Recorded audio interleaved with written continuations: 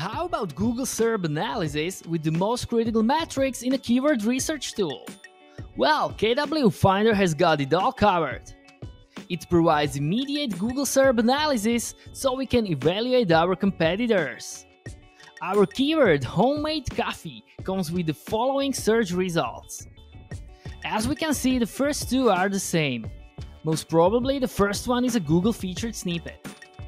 Based on the Moz metrics, we can evaluate the authority of these websites. What's more, here's the total number of external authority passing links, the number of Facebook shares, and the rank. Keep in mind that everything we can see here, the Google SERP and all metrics are based on a selected location. If you want to get deeper insights, we can expand the results in SERPChecker. That's it! Now we got all information for a deep keyword analysis. Feel free to share this video and don't forget to subscribe to Mangools YouTube channel to get fresh SEO tricks and tips.